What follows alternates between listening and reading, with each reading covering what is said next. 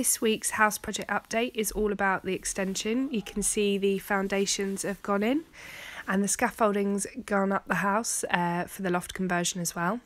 But this will be our new living space, which is insane. That wall won't be there, and that will be our utility room and WC, which is super exciting. Then back inside the house, it's all still pretty much a mess, but um, they've been concentrating on the outside this week, so that's where the main update is. And there's my lovely father in law and mother in law who are also super excited about the project. And then back through to the corridor, and all these rooms are still looking the same, but this will be the kitchen. So this is going to have quite a major change, and that wall won't be there. And then back out, those lovely stained glass windows are still there, which I adore, and all that light coming through is exciting.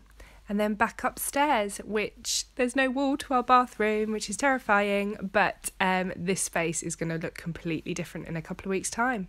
So there we have it. This week's update is all about the extension.